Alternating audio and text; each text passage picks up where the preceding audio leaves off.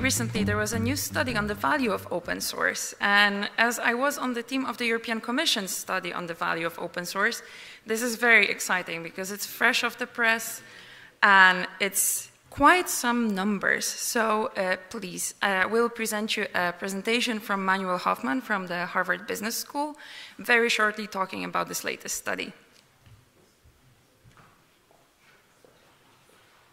Hello, everyone. I'm glad to be here and talk to you about the value that arises from open source software. My name is Manuel Hoffmann, and this joint work together with Frank Nagle from Harvard Business School and Yanuo Zhou from the University of Toronto. All right. I'm likely going to preach to the choir here, but um, I want to still give you a number.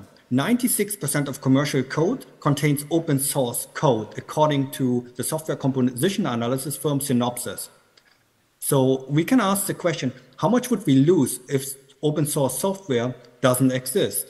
So to calculate the value, we could simply state that it's the price times quantity. And to quote Warren Buffett, price is what you pay but value is what you get.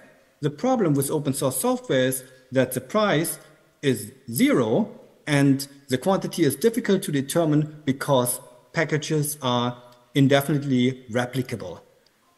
So how do we address those issues? We're going to use what is called the labor replacement value approach, where we estimate the time cost it would take an average coder within a firm receiving an average global wage to recreate each line of code of open source packages.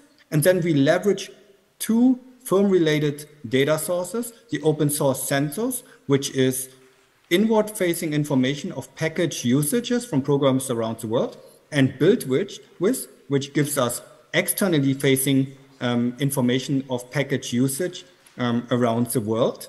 And we're going to combine them. While the literature is scarce, there's some great work that has been done by Blind and colleagues to estimate the value of open source software uh, for the European Union and Robbins and her colleagues uh, for the United States. So what we're going to do a little bit differently is we're estimating the value across the globe and we are going to focus on most widely used packages. So you can really think of our estimate as an underestimate of the value. All right, so let's talk about our headline figures. For the supply side, uh, let's engage in the following thought experiment. How much would it cost to replicate widely used open source code? Well, according to our estimates, it would be $4.15 billion. Now, on the demand side, we can account for usage and we can ask a slightly different question. What would happen um, if the concept of open source software completely disappears? Well, we calculate a value of $8.8 trillion. Or to state it a little bit differently, without open source software, firms would spend 3.5 times more on software than they currently do. And of course, there is some heterogeneity um, in the value creation process across programming languages and developers. So let's take a look into the developer side. Well, we find that the value creation of open source is highly skewed. So here you can see the supply and demand side figures that are looking that look very similar. Um, on the horizontal, you can see the cumulative, cumulative share of programmers that are creating the value on the left y-axis and contribute to um, a certain number of repositories on the right y-axis.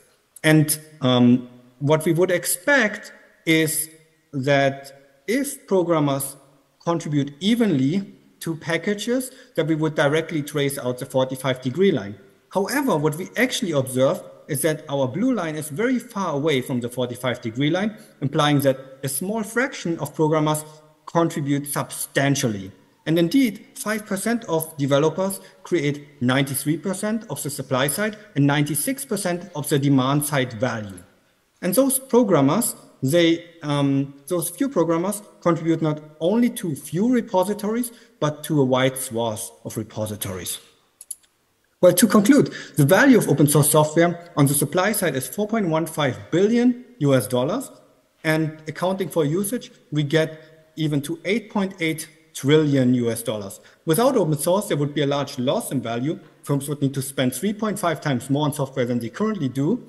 And we find some heterogeneity in how the value is created with um, 5% of developers creating 96% of the demand side value. Right. Thank you so much.